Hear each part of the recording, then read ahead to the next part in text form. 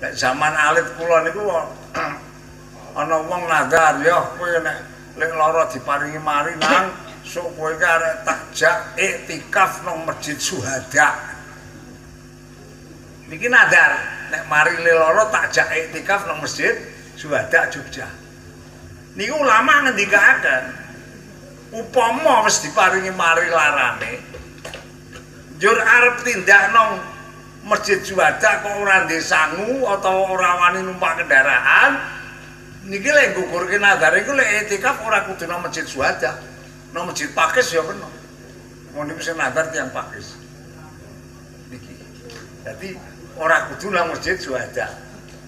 Nek lek etikaf niku wajib nek ora kudu nang masjid Suwata nang masjid kene dhewe kena.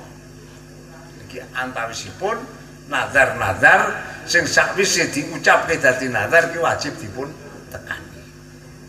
Lan sanes-sanesipun tasih kathah pokoke ndi nazar kesainan niki kedah dipun laksanakaken. Nek ora dilaksanakake tetep kepatrapan dosa. Niki nek wis dadi nazar.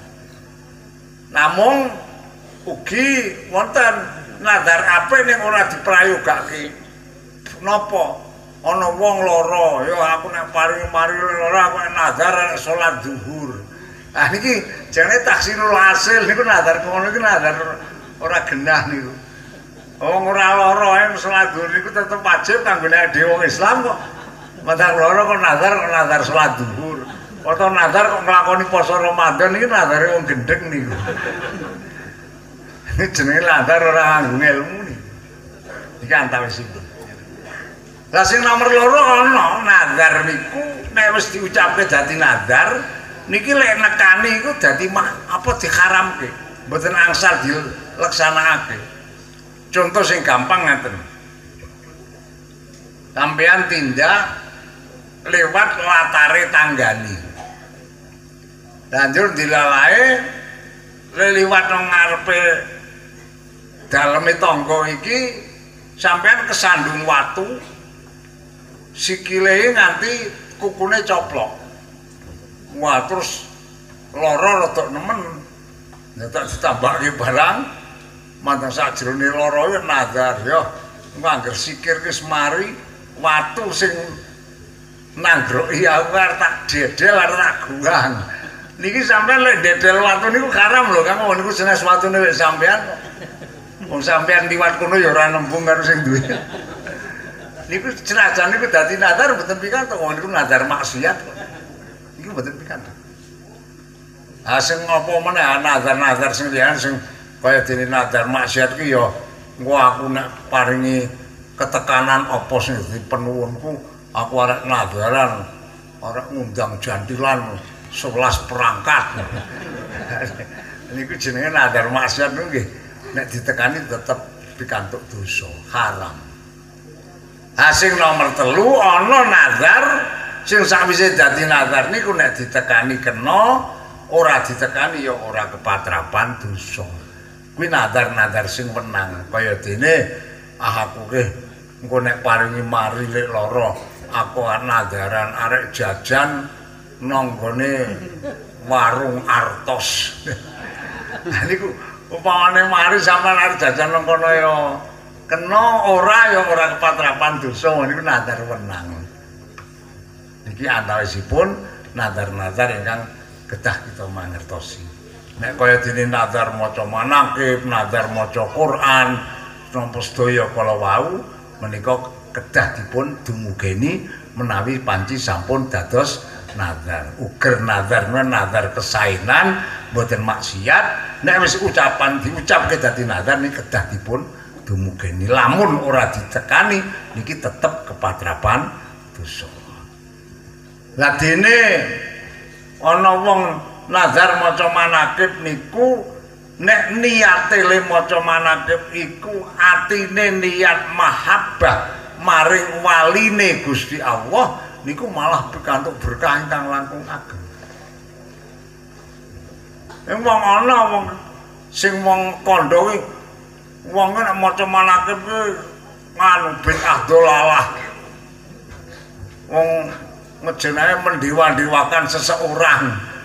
niki mboten kok mendewa-dewaken niku mboten. Awake dhewe maca manake upamane manake Syekh Abdul Qadir Jailani niki mboten kok mendewa-dewaken Syekh Abdul Qadir niki mboten. Kita ini ngamalaken dawuh Kanjeng Nabi. Kanjeng Nabi menika anggenipun paring dawuh man adali waliyan fakot adan tuhu bil harbi. sapa wong kok mungsuhi karo waline Gusti Allah iki wong iki cara ndikane kanjeng Nabi kena diperangi dadi ana wong kok ora seneng karo waline Gusti Allah niki cara ngendikane kanjeng Nabi kena diperangi Nah, terus kanjeng Nabi ngendikaken nek sapa wonge kok demen maring waline Gusti Allah wong iku berarti demen marang ingsun Kanjeng Nabi. Sing sapa wonge demen marang ingsun Kanjeng Nabi, wong iki berarti demen karo Gusti Allah. Sapa wong demen karo Gusti Allah, iki mengko ana ing akhirat karo Gusti Allah arep dipapake nang swargane Gusti Allah.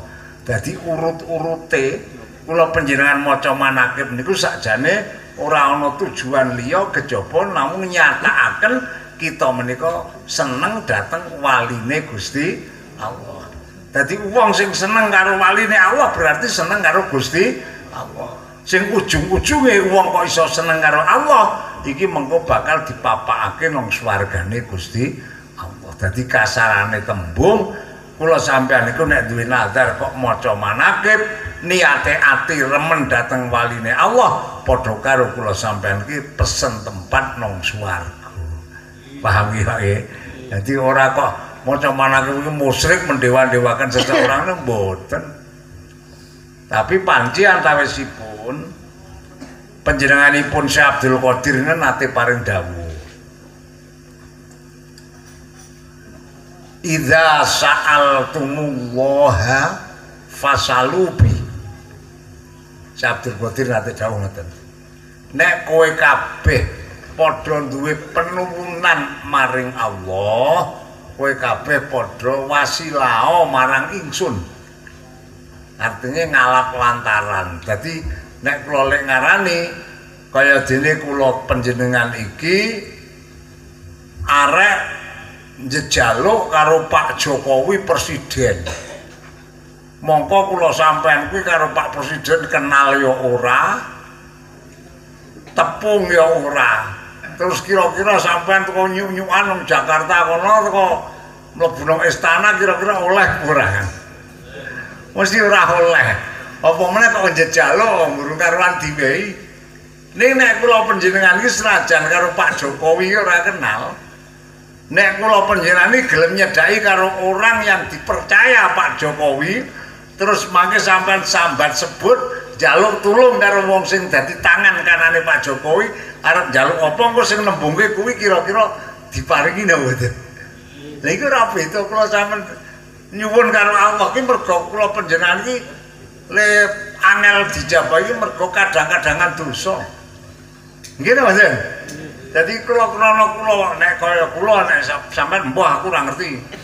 Nek kula niki dongane lek ora enggal dijabah mergo kadang-kadangan kakean le dosa niki wae.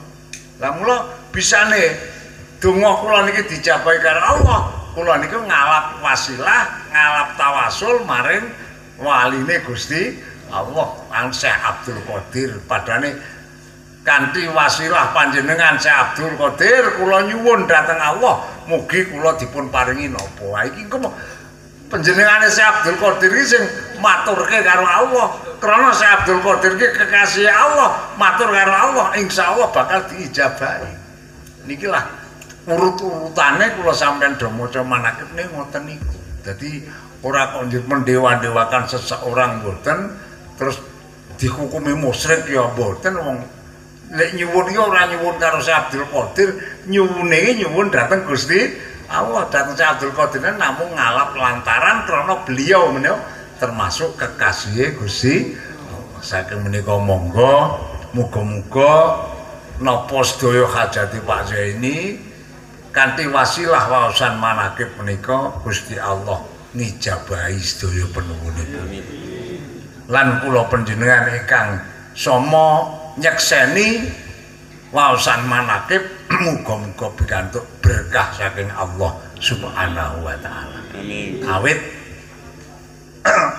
wonten ulama ingkang ngendikaaken kapan manakib iki mau diwaca nang ndi wae papan nalika manakib iku diwaca Gusti Allah bebarengan karo manakib iku diwaca nurunake rahmat sing rahmat niki diparingake maring wong sing duwe hajat lan wong sing maca lan wong sing padha nyekseni ngrungokake wacan manakib niku saknalika karo Allah diparingi rahmati Gusti Allah. Nah muga-muga kanthi dawuh ngaten menika kula panjenengan bisa klebu golongane wong sing oleh berkah lan rahmati Gusti. Para sederek sedaya ingkang do mulyakaken bilih ngaten mawon ingkang saged kita aturaken pinangka minangkani penuwun saking Sohibul Ajah wontenipun waosan tahlil lan manakib Mugi katampi wonten ngarsanipun Allah Subhanahu wa taala. Allahumma amin. Allahumma sholli ala sayyidina Muhammad wa ala ali sayyidina Muhammad. Aidil awalina wal akhirin. Wa sallim wa radiyallahu tabaraka wa ta'ala an kulli sahabati Rasulillah ajma'in. Alhamdulillahi rabbil alamin hamdan yafi ni'amah wa yukafi majidah ya rabbana lakal hamdu kama yanbaghi li jalali wajhikal karim ma'alim sultani. Allahumma inna nas'aluka bijai Sayyidina Muhammadin sallallahu alaihi wasallam wa bi Sayyidatina Khadijah binti Khuwailidin wa bi hurmati dzurriyyatihi ma hadzal arifil akbar was salikina ala minhajil anwar ayyaqdiya hajatina wa tuyassira umurana wa tu'ammina rawatina wa tastura auratina wa taqdiya duyunana wa takshifa qulubana wa taghfira dhunubana wa tuhaqqiqa dhununana wa raja'ana wa antumitana ala islam. Wa antu khafifa anna akhzanana zair ruh wa antamunna alaina fadlika wa akthir ni'mataka wa antaj'alana min jumlati ahbabika min ahli ta'atika wa hidmatika wa antunajjina min adabika.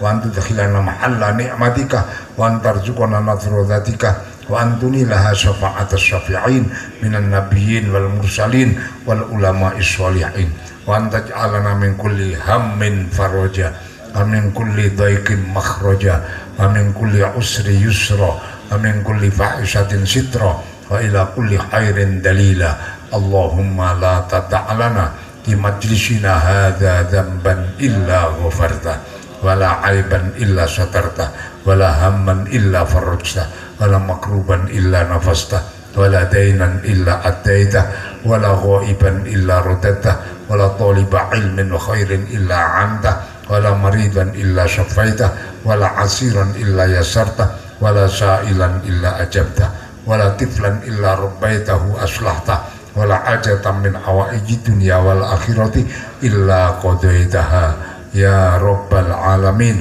Allahumma inna nas'aluka al-afiyah wa dawam al-afiyah wa syukra 'ala al-afiyah wa as'aluka al-ghina 'anil nas Allahumma hulla hadhihi الفتة وعجل هذه الأسرة ولكن حسن الميسور وقنا سوء المقدور وارزقنا حسن الطلب واكفنا شر المنقلب اللهم ما مننت به فتممه وما أنعمت به فلا تسلبه وما أنعمت لنا فاغفره لنا اللهم وما عملنا من عمل مما ترضى وعدتنا للثواب وتقبله منا ولا تقطع رجاءنا اللهم إنا نسألك min kulli khairin ahata bi ilmuka fid dunya wal akhirah. Ya rabbi ya malikat dunya wal akhirah. Wa sallallahu ala sayyidina muhammadin wa ala alihi wa sahbihi wa salam subhana rabbika rabbil izzati amma yasifun. Wa salamun alal mursalin walhamdulillahi rabbil alamin. Al-fatihah